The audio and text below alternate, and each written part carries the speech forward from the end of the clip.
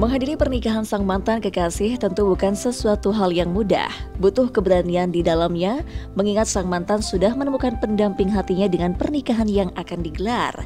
Hal inilah yang sepertinya akan dihadapi Laudia Cynthia Bella, di mana dirinya akan berusaha menghadiri prosesi pernikahan Raffi Ahmad, mantan kekasihnya, dengan Nagita Slavina.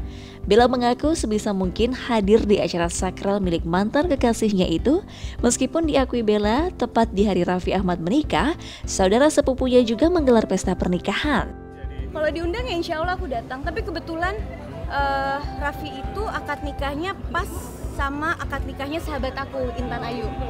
Jadi kayaknya aku harus bagi waktu sih. Melihat sang mantan kekasih akan menjalani pernikahan dengan pujian hatinya, Bella mengaku merasakan kesenangan tersendiri di dalamnya.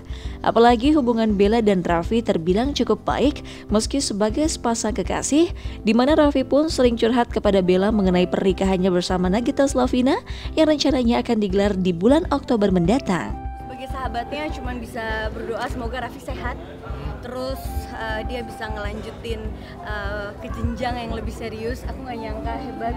Selamat selamat. Semoga semangat. Semoga semuanya lancar sampai hari ini. Aku cuma bilang sama Raffi Evi badannya dikurusin dong. Ntar jadi kalau misalnya pas di pelaminan bagus. Jangan sampai kelihatan gendut. Oke oke oke. Dia cuma kayak nanya-nanya makanan diet gitu gitu